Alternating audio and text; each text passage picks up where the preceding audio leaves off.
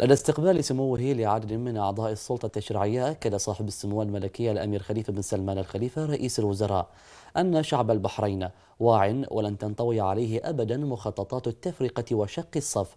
ومن يحاول ذلك فهو جاهل لتاريخ هذا الوطن ولم يطلع على المحطات المضيئة في هذا التاريخ المزدهر الذي كان عنوانه الأبرز المواقف الصلبة لأهل البحرين في الدفاع عن الوطن وقضاياه العادلة. وحث اسمه على ضرورة الاهتمام بوحدة الموقف والكلمة وأن يلتقي الجميع على هدف واحد وهو مصلحة هذا الوطن وشعبه وحمايتهما من المخاطر والتحديات. وكان صاحب السمو الملكي رئيس الوزراء قد استقبل بقصر القضيبية صباح اليوم عددا من أعضاء مجلسي النواب والشورى وعددا من المسؤولين بالمملكة.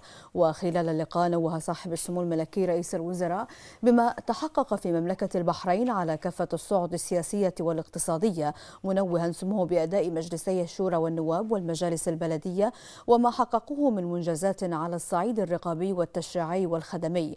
لافتا سموه إلى أن الحكومة ستواصل سعيها الدؤوب للدفع قدما بمجالات التعاون الحكومي البرلماني ليظل هذا التعاون علامة فارقة في المسيرة البرلمانية. وحيا صاحب السمو الملكي رئيس الوزراء الكفاءات البحرينية وما تطلع به من دور بارز ومحوري في المسيرة الوطنية مؤكدا سموه بأن رهاننا على العقول الوطنية المبدعة فالإنسان دوما هو سر تقدم الأمم وأساس حضارتها لافتا سموه إلى حرص الحكومة على تهيئة الظروف والأسباب التي توفر البيئة المواتية التي تحفز الكوادر البحرينية على الإبداع والتميز.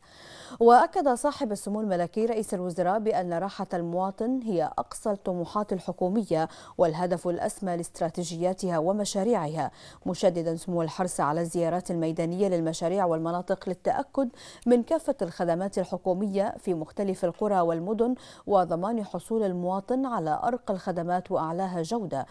وقال اسمه أن أهالي القرى والمدن هم أهلنا وراحتهم من راحتنا ويهمنا أن نضمن لهم العيش الكريم والبيئة الخدمية المتطورة التي يطمح إليها كل مواطن.